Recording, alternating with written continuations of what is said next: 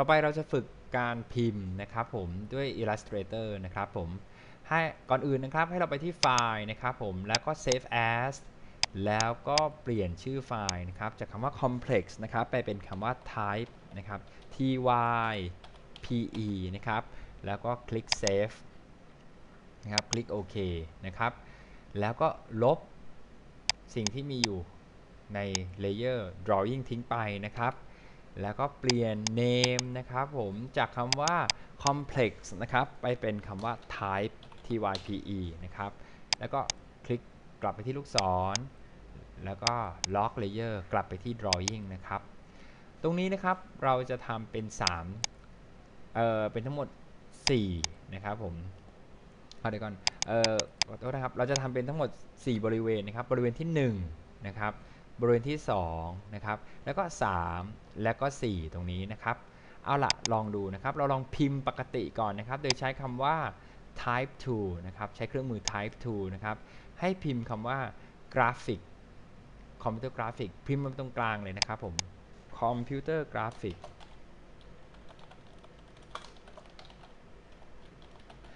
แล้วก็ ถ้าพิมพ์ผิดก็ลบได้นะครับ เหมือนกันใช้ Word เลยนะครับ แล้วก็ให้เราปรับตัวอักษรนะครับ ให้ใหญ่ขึ้นนะครับ ประมาณสัก 60 point นะครับผม จะสังเกตว่าเมื่อเราคลิกอยู่ตรงกลางนะครับผมคอมพิวเตอร์จะเริ่มพิมพ์ที่ตรงที่เราคลิกนะครับผม ดังนั้นเนี่ยเราอยากให้มันอยู่ตรงกลางต้องไปกดที่คำว่า paragraph panel นะครับ กด paragraph ปุ๊บนะครับ กดปุ๊บเราก็ให้เลือก เป็น align center นะครับเห็นไหมครับมันก็จะมาอยู่ตรงกลางนะครับอ่าแล้วเราก็ใช้เครื่องหมายนะครับทางขวานะครับปุ่มขวามือเนี่ยเลื่อนมานิดนึงให้มันอยู่ตรงกลางนะครับอ้าวสวยงามเรียบร้อยคอมพิวเตอร์กราฟิกแต่ถ้าเกิดเราต้องการจะให้คำว่าคอมพิวเตอร์กราฟิกเนี่ยมันโค้งนะครับผมมันโค้งเราต้องวาดเส้นโค้งให้มันก่อนนะครับผมในการวาดเส้นโค้งเนี่ยครับให้เราไปที่ pen tool นะครับ pen tool นะครับ แล้วก็ทำจุดขึ้นมา 3 จุดนะครับผมทำจุดนะครับ ก็อย่าลืมกด shift ไว้ก่อนนะครับ กด shift คลิก 1 ครั้งนะครับ1นะครับ2นะครับแล้วก็3นะครับผมผมอยากครูแนะนำว่าให้ระยะที่ 1 กับ2เนี่ยใกล้กันนิดนึงนะครับ แล้วก็ 2 กับ3เนี่ยห่างออกไปอีกสักหน่อยนะครับ แล้วก็เปลี่ยนนะครับเป็นเครื่องมือ convert anchor point to นะครับ จะเป็นรูปริมนี้นะครับ แล้วให้ใช้รูปริมนะครับ คลิกจุดที่2นะครับแล้วก็ลากออกมานะครับผมเราจะเห็นว่าเส้นจะเปลี่ยนเป็นเส้นโค้งทันทีนะครับ ลากออกมาทางขวาล่างนะครับผมโค้งนิดๆพอนะครับผมโค้งมากเดี๋ยวจะอ่านไม่ออกนะครับ ตัวหนังสือเราจะอ่านไม่ออกอะลองดู แล้วก็กลับไปเลือกที่เครื่องหมาย t นะครับผมเครื่องหมาย type แล้วก็เลือกอันที่ 3 นะครับ type on path to แล้วก็คลิก นะครับ ที่จุดเริ่มต้นตรงนี้นะครับอะเออคลิกตรงจุดเริ่มต้นนะครับผมคลิกนะครับ แล้วก็เขียนคำว่า computer นะครับ graphic เห็นไหมครับ ถ้าเกิดเราพิมพ์แล้วมันยาวเกินเนี่ยมันจะหายไปเลยนะครับผมดังนั้นเนี่ยเราปรับได้ 2 อย่างคือปรับขนาดตัวพิมพ์พิมพ์ไปก่อนนะครับผมแล้วกด Ctrl A นะครับ Ctrl A เป็นการเลือก ตัวอักษรทุกตัวที่อยู่ในเเครื่องมือในในวัตถุนี้นะครับ เลือกให้มันขนาดเล็กลงกว่านี้นิดนึงนะครับ เป็น 48 point เห็นไหมครับ มันก็จะอยู่ในบรรทัดนะครับ มันก็จะแสดงออกมาได้นะครับ แต่ถ้าเกิดว่าอยากจะให้มันเพิ่มขึ้นใหญ่ขึ้นเล็กน้อย เราสามารถที่จะใช้เครื่องไม้ขึ้นกับลงนะครับ increase กับ decrease type font size ได้นะครับ ขึ้นไปเรื่อยๆนะครับจนเกือบที่จะตกนะครับอะถ้าตกแล้วก็ลดลงมาอะนี่สวยงามนะครับ เห็นไหมครับว่าเราสามารถพิมพ์ไปบนเส้นได้นะครับ เส้นที่เราสร้างขึ้นมามันจะหายไปนะครับผมแล้วก็ตัวพิมพ์เนี่ยจะลอยอยู่บนเส้นนั้นที่ล่องหนอยู่นะครับ เอาละต่อมานะครับ เราจะลองพิมพ์นะครับผมลงไปบนวัตถุนะครับ ทรงกลม นะครับอะเป็น ellipse tool นะครับ สร้างวัตถุทรงกลมขึ้นมานะครับ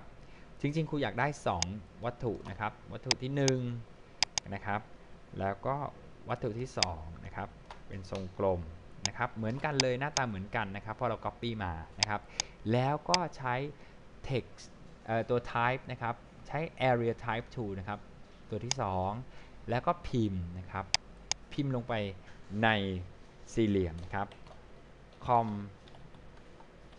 computer graphic นะครับ ใช้ตัวเล็กหมดเลยก็จะดีนะครับ ตัวหนังสือมันใหญ่ไปเนอะมันถึงหายไปไม่เป็นไรครับผมเราทำให้มันเล็กลงนะครับ เอาเล็กๆเลยนะครับ6 point นะครับผมเห็นไหมครับว่าเล็กมาก เราสามารถใช้เครื่องมือซูมนะครับเพื่อจะซูมเข้าไปให้ลึกๆนะครับอ่าซูมได้เห็นชัดๆนะครับ แล้วก็ปรับเปลี่ยนไปเป็น type 2 นะครับ อีกครั้งหนึ่ง เพราะเราไม่ต้องการจะพิมพ์หลายรอบเนาะ เราก็ใช้การ copy นะครับ ก่อนที่จะ copy นะครับให้เราเว้นวรรคหลังคำว่ากราฟิก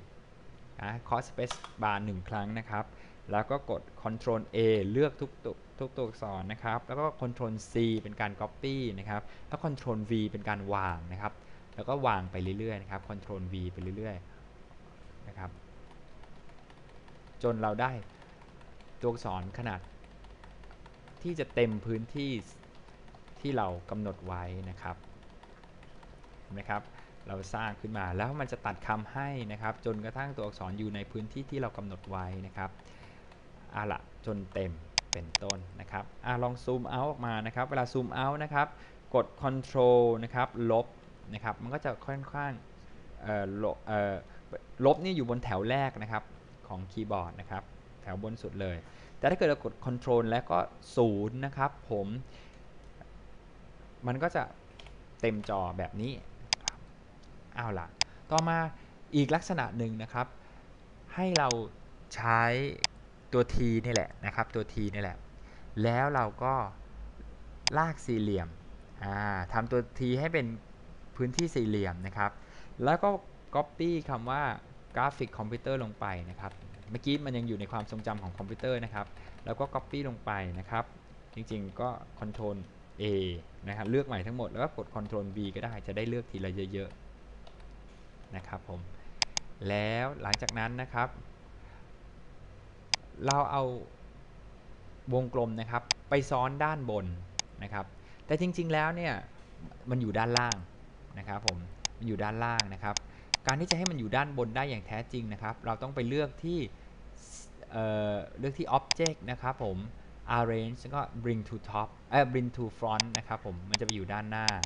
นะครับ แล้วเราไปวางไว้ด้านหน้านะครับ วัตถุที่เป็นอันนี้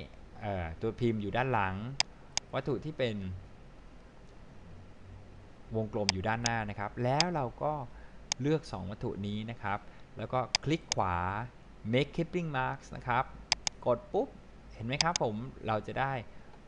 ตัวอักษรที่อยู่ในพื้นที่วงกลม แต่ว่ามันจะต่างกันนะครับ 2 วัตถุนี้จะต่างกัน ตรงที่ว่า